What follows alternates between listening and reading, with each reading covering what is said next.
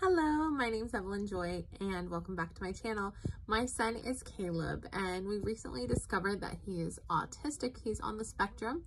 Now he's not nonverbal. He has a couple of words, but I'm just, because of this new discovery, I'm becoming more in tune to his needs and it's important for me to meet his needs.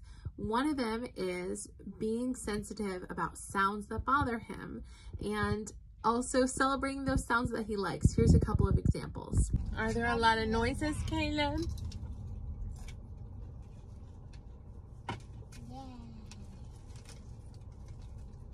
I like to eat, eat, eat ice cream with my family. I like to eat, eat, eat ice cream with my family. Thanks for watching. Bye.